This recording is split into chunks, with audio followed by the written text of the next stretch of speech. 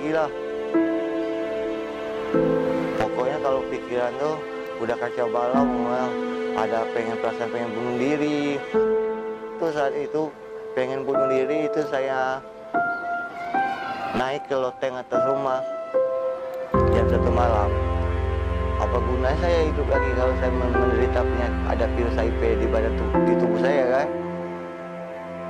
Tapi setelah saya renungkan di atas loteng rumah saya itu. Saya seperti mendengar ada suara bisikan kan? Dan juga dari pihak keluarga saya saat itu memohon supaya saya turun. Ya akhirnya saya sadar ya sudah saya turun dari hotel rumah saya. Saya terimalah saya apa adanya.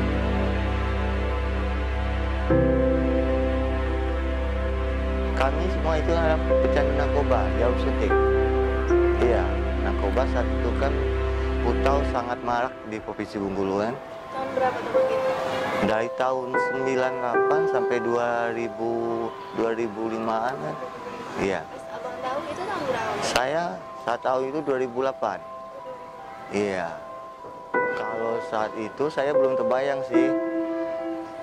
Saya mulai terbayang itu di saat saya melihat teman-teman kebanyakan satu persatu itu mereka meninggal mereka itu teman rata-rata teman dekat saya semua. Nah jadi saat itu saya ada inisiatif apakah saya menderita virus HIV apakah saya menderita penyakit lain.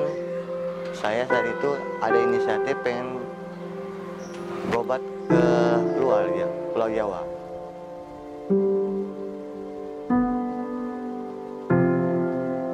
Keluarga itu sangat mendukung dan mensupport.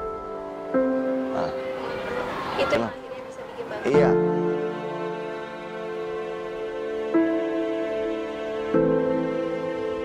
Pengobatan saya minum itu obat itu air, ARV rutin obat rutinnya itu jam 8 pagi sampai jam 8 malam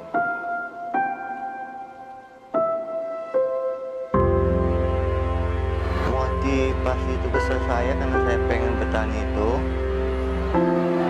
karena sebelum saya sebelum saya mengetahui saya menderita HIV positif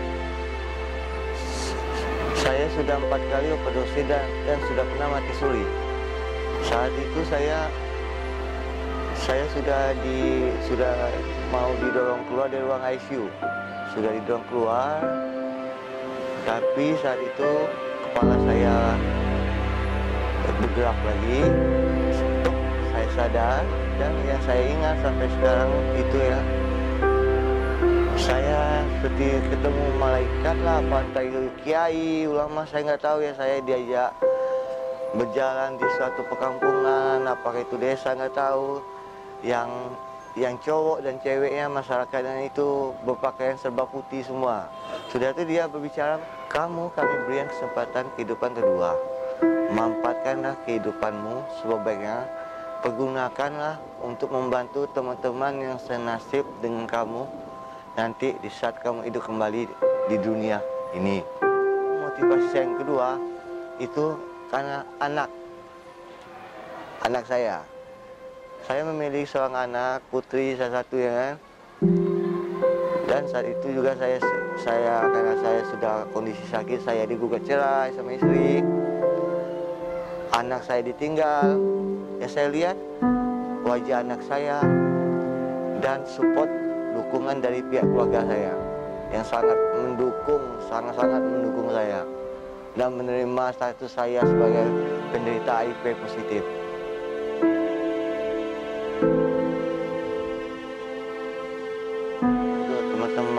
Senasib dengan saya, janganlah kalian putus asa, putus asa.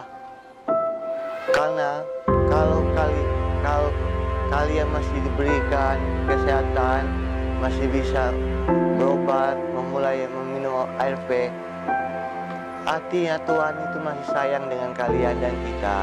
Nah, bangkit dong ya, buktikan, jangan takut dengan status anda sebagai Oda. Tapi kal- kalau kita meminum obat teratur, pola hidup normal, dan ingat dan selalu ingat kenapa kita masih diberi kesehatan masih bisa bernapas? Nah, hanya satu teman-teman. Allah masih sayang dengan kita. Biarpun stigma masih tinggi terhadap kita komunitas Roda di Bengkulu saya berani testimoni open status ini demi teman sana karena saya tidak malu saya mengakui status saya Oda selama ini masyarakat bilang orang dengan AIP itu umurnya pendek jangan didekati. Nggak ada itu. Oh saya Oda positif AIP dari tahun 2008 sekarang 2018 nah sudah berapa tahun saya positif? Menderita AIP positif positif thinking aja lah. Tuhan menghadir kok. Itu ya teman-teman. Pesan dari saya dari, dari KDS Rapesia Support saya Bung Atta. Wassalamualaikum warahmatullahi wabarakatuh